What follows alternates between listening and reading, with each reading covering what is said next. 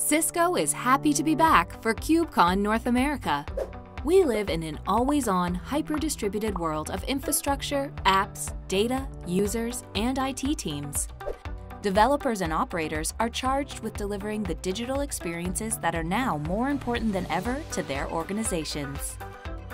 With the number of applications expected to grow by 50% over the next two years, app development, application infrastructure, and security need to be continuously integrated more than ever before. Cisco is rethinking the way that teams need to come together to avoid delays in application delivery and innovation due to siloed operations or increasing complexity of operations.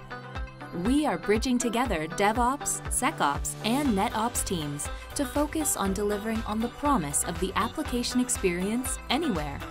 We have a great lineup of speakers and a host of content to share.